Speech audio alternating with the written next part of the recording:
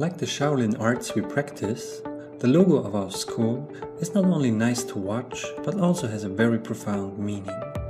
The red color was chosen to represent courage and righteousness. The yellow background represents compassion and wisdom. These characteristics manifest the ideals of a scholar warrior as well as the ideals of a warrior monk. The name of our school is Shaolin Wahnam Institute. To honor our two most influential grandmasters, the term Wahnam was made up by their names. Sifu Wong's first master was Lai Chin Wah, who was better known as Uncle Righteousness. From him, Sifu learned the external aspects of Shaolin Kung Fu, like picture-perfect form. Uncle Righteousness taught Sifu many famous sets, like Tiger Crane, Sifu's favorite, the Dragon Strength Chi Circulation set, and rarities like the Essence of Shaolin. The other master was Ho Fatt Nam. Besides many other things, Sigung Ho taught Sifu the internal aspects of Shaolin Kung Fu, like internal force training and also combat application, the two pillars of Kung Fu training.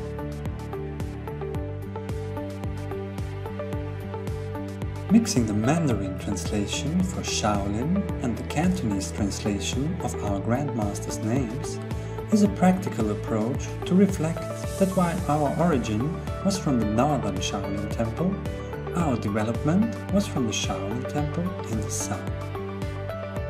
The inner and the outer circles represent both the internal and external approaches of our cultivation and also signify that we pay importance to both our mind as well as our body. The weapons displayed in our logo are a representation of our lineages too. Trident makes the letter W, indicating the lineage of Lai Chin The three-sectional soft whip is arranged to make the letter N, representing the lineage of Ho Fatt. The trident set we practice in Shaolin Wahnam is named Taming Tiger Big Trident. The big trident, also known as tiger fork as it was commonly used to hunt tigers, is classified as a long and heavy weapon. It is probably the heaviest of all weapons.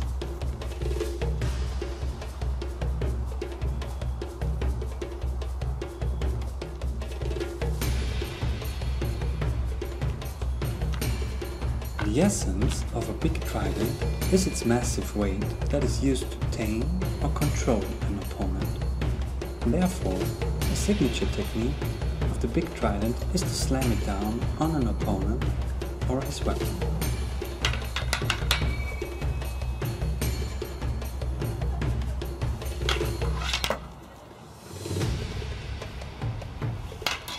Because of its weight, some people may consider a big trident clumsy, but in the hands of a master it can be very sophisticated. The three prongs of the trident are effective in tracking and capturing an opponent's weapon.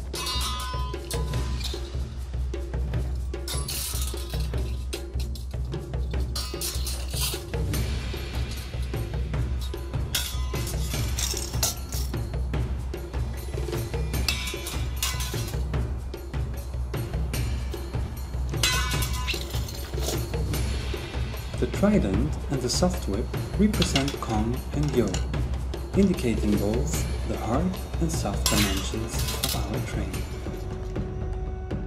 The three-sectional soft whip was often used as a hidden weapon secretly attached to the lower leg or at the waist. The essence of a soft whip is flow. Unlike in all other weapons, where the techniques can be applied in isolation, the techniques of a soft whip must be applied in a continuous flow.